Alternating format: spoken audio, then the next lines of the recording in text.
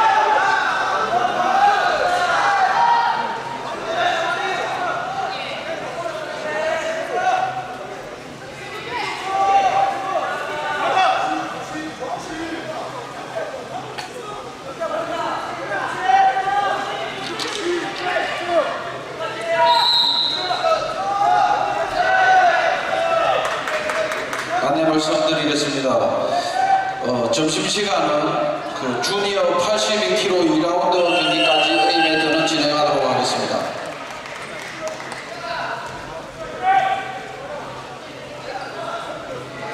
B매트는 주니어 74kg 자유형 경기까지 점심시간을 가지도록 하겠습니다.